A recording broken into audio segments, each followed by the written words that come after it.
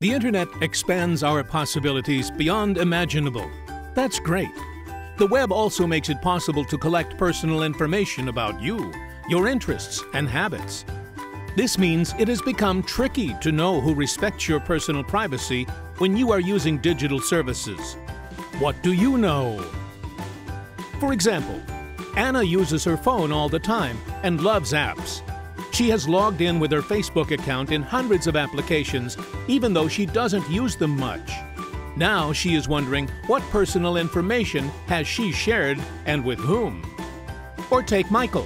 He is interested in sports and often surfs through the web following his favorite teams and athletes. He has never shared much personal information on any sites. And now he gets suspicious of an advertisement that seems to be very personalized. Ali travels a lot. He often uses apps and Internet of Things deployments which collect data readings from his phone sensors. Since devices track his activities, Ali would like to be sure that third parties have no unauthorized access to his personal data. These guys could use Privacy Flag, a tool that helps to protect your private information on the web and among Internet of Things. Privacy Flag compares all the apps in Anna's phone with the list of assessed applications.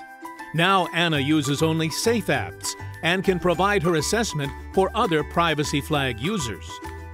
The Privacy Flag browser add-on informs Michael on the level of his privacy when visiting a website. He can see which specific pages have third-party trackers, disable them, and make his browsing more secure. He can also contribute his assessment to other Privacy Flag users. In Paris, Ali found a perfect parking spot using an app. He opens the Privacy Flag app and it turns out that sensors have been sharing his location all the time without his permission.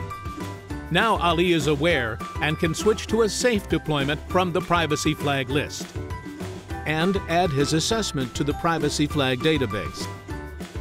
And that's what the Privacy Flag service is about. Awareness and control of what Internet knows about you. To ensure your privacy, visit privacyflag.eu